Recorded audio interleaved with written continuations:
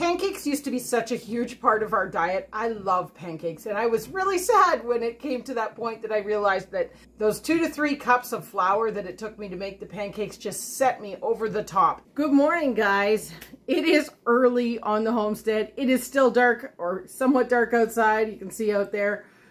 And today for Stock It September, I want to focus on something that we use a lot for breakfast. Now, last night, Chris and I, we went out for date night. Did you guys know that the Landmark Theater has a twosome Wednesday night to go see the theater? With tax, it was 41 bucks. We got our two movie tickets. We got popcorn, drinks, and candy. I know, terrible, right? But I still tested 7.7 this morning, which isn't too bad for me. But that's not what this is about. This is about what we purchased before we went to the movies. We went to Walmart. That's right. Walmart is one of our favorite places to buy this particular item, and it is something that we use a lot of. And that is, I know I can't do the drum roll, but it's early in the morning too, so my drum roll would be lame anyways.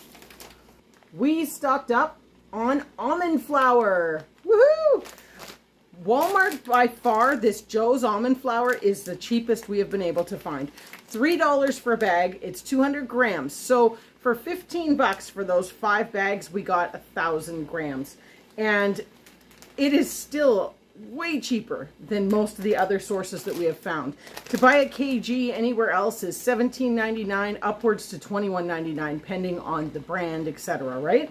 So we really like this because we're only opening small bags at a time rather than a big bag that I got to figure out how to store.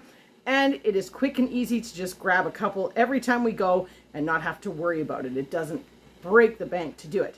So what are we going to make today? We're going to make Dutch baby pancakes with almond flour. Dutch baby pancakes have definitely become one of my favorite breakfasts. They are popular around here. We probably make them twice a week. Yeah. And uh, the nice thing is they don't set off my blood sugars when I use the almond flour. So we're to quickly go through this recipe and then we're to try them out with my low sugar raspberry jam that I made earlier this summer. It would have been, I guess, two months ago now. And then we'll do a test after and see. But so far, they've been fantastic. Now, my rate on my fasting was a little higher this morning than normal, but that's due to our splurging last night on a bunch of, well, wasn't really junk food, but it was just a lot of food.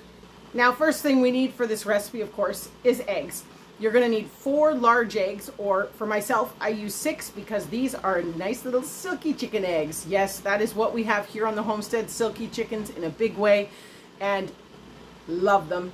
But the little eggs, three of them equals the same weight as two of your uh, store-bought or larger chicken eggs. So that's where we're starting. We're breaking open six of our eggs into the bowl. I always crack them into a separate container first because especially with homegrown eggs, sometimes there's surprises. You probably hear my coffee happily perking in the background. I am excited for coffee this morning, let me tell you. But what we're going to do now, we've got our six eggs, or four in your case, but eggs into the uh, bowl. We're going to get our frying pan heating up. This is definitely one thing that is important. I like to heat up my cast iron pan on the stove first before I pour the Dutch baby in there. Now you could also use, if you're using um, um, casserole dish or something like that, in the oven, heat it up first. The one thing I don't like about my oven is when I get it going full tilt, it sets the fire alarm off. So I like to use the stove top to heat my cast iron. Then we're going to put about two tablespoons of butter in there, but it tastes really amazing and then we're going to pour everything else in. Now our Dutch baby is so simple. This is why I love this breakfast. The eggs are in, pinch of salt, about a quarter teaspoon, and then I do a half cup of almond flour and a half cup of oat flour and one cup of milk. That's it. Stir it up, shake in a little bit of cinnamon just for a little bit of spice, and pour it into that hot skillet. Let it kind of start to bubble along the edges, and then into the oven it goes. Our oven is preheating right now, 375, and you're gonna cook this for about 15 to 20 minutes. I tend to watch it. It really will poof up on the sides, and then when it's nice golden brown, I turn off my oven, but I leave it sitting there for a little bit so I don't set off the fire alarm, and that just gives it that sweet amount of cook through. It's it's five minutes in the oven once I turn it off, but the heat is still holding in there. So uh, basically 20, 25 minutes to cook these. But let's get all the ingredients in. Oh, oven's ready. So as I mentioned, so easy. I whipped that all together in about two minutes and that was extended because I was videoing. But, oh, there, that's getting nice and hot. That's what you want. The skillet to be good and hot before we pour this in. Our oven is up to temperature. Our coffee is just about ready to drink. I love this for a morning breakfast, especially when the kids have school because I get up about 10 minutes early, get it into the oven, then work on lunches while it's cooking. It just works out perfect for a great breakfast. And it's still healthy and hearty for you. And that's it. Now it's in the oven. We're gonna just wait for this to get ready. Then we will have our wonderful homemade raspberry syrup on top of that with coffee. It's gonna be wonderful. I'll be back in a bit to show you how gorgeous these Dutch baby pancakes look and we'll eat them up. Pancakes used to be such a huge part of our diet. I love pancakes and I was really sad when it came to that point that I realized that those two to three cups of flour that it took me to make the pancakes just set me over the top. These Dutch babies have replaced them completely in my book and they are so tasty and now that they're out of the oven, all it is is a couple tablespoons of our uh, homemade raspberry syrup on there, just like that.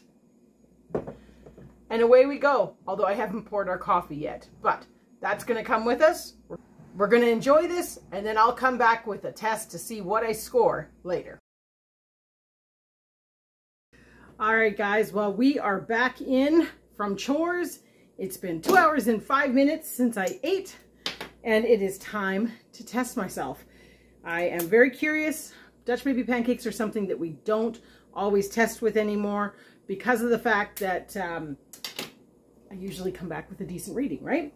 So I'll be curious after our misbehaving night last night as to what it says. Let's look together. 7.4. Pretty awesome. So for those that don't know, basically you want to be under 7.8 uh, two hours after a meal in order to be in normal eating blood sugar range. So certain meals we're learning are definitely helping me get into that range. Now, one thing I will say, which I maybe haven't mentioned before, is I am choosing to battle my diabetes with food rather than medicine. And uh, so far, it's been working very well. As you saw at the beginning of this video, I mentioned that I was still 7.7 this morning. That is high. You are supposed to be, I've never been this low, but I think it's under 5.8. Uh, if it's not, I will write it down below here. Um, but I do believe you're supposed to be under 5.8 as a fasting, and the lowest I've been able to get is a 6.7 on a fasting. So the fasting is the meals that I'm really having trouble with. That's not a meal. It's uh, definitely something that uh, if you've got any tips or tricks that you've learned along the way, I'd love to hear them because we are trying kind of a lot of different things, apple cider vinegar, all sorts of stuff, trying to get that fasting one down. But as you can see, and we're going to showcase this kind of throughout the winter months here with the different meals that we're eating and how they affect my blood sugars and the things that we've changed um, as we've been going through this process. So stay tuned for that. I hope you enjoyed this video. I hope you give those Dutch baby pancakes a try. They are so good and we really have converted to almond flour. The one thing I will say is I used oat flour in this particular batch, but I have made them with whole wheat flour as my other half cup rather than oat flour and still had great readings. So it seems to be that there's a sweet spot on the number uh, or the amount of actual flour that you can put into them, or at least that I can put into them. So have a great day and we'll see you on the next video.